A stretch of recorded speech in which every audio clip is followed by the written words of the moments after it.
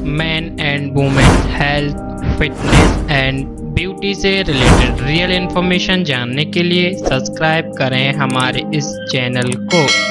भारत के अधिकतर परिवारों में हमें प्रोटीन पाउडर नहीं लेने दिया जाता, जिससे हम सोचते हैं कि हमारी बॉडी नहीं बन पाएगी। तो गाइस अब आपको चिंता ना कीजिए, मैं आपको इस वीडियो में बताऊँगा कि आप घर पर ही कैसे प्रोटीन पाउडर तैयार कर सकते हो और अपनी मन चाही बॉडी बना सकते हो। इस प्रोटीन पाउडर को बनाने के लिए हमें कुछ मटेरियल की आवश्यकता पड़ेगी। नंबर वन आपको चाहिए है 100 ग्राम पीनट जिसे हिंदी में मूंगफली बोलते हैं। नंबर टू दूसरी वस्तु है जो आपको लेनी है 100 ग्राम सोयाबीन सीड तीसरी वस्तु है 100 ग्राम काले चने। जो भुने हुए हों। चौथी वस्तु है 100 ग्राम आलमंड्स यानी कि बादाम। और आखिरी वस्तु जो आपको लेनी है, वो है 100 ग्राम अखरोट। अब आपको इन सभी मटेरियल को ड्राई करना है। इस मटेरियल को ड्राई करने के बाद आप इन्हें चार से पाँच घंटे धूप में रख सकते हो।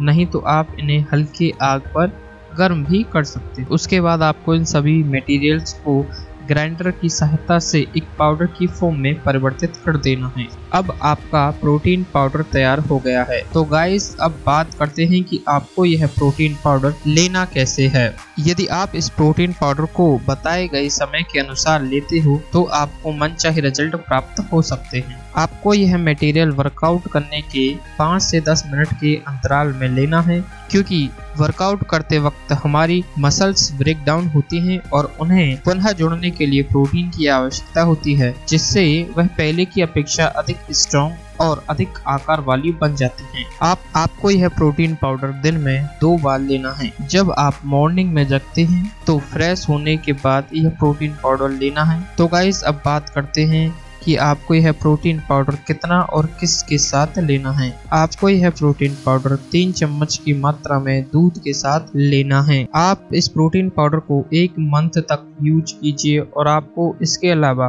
मार्केट से प्रोटीन पाउडर खरीदने की ज़रूरत नहीं पड़ेगी। आपको अपनी दैनिक प्रोटीन की आवश्यकता को प्रोटीन युक्त आहार से पूर्ण करना होगा, जो कि आपको दूध, अंडा चिकन पनीर, दही इत्यादि से प्राप्त होंगी। आपको हमारी वीडियो कैसी लगी, आप हमें कमेंट करके बताइए।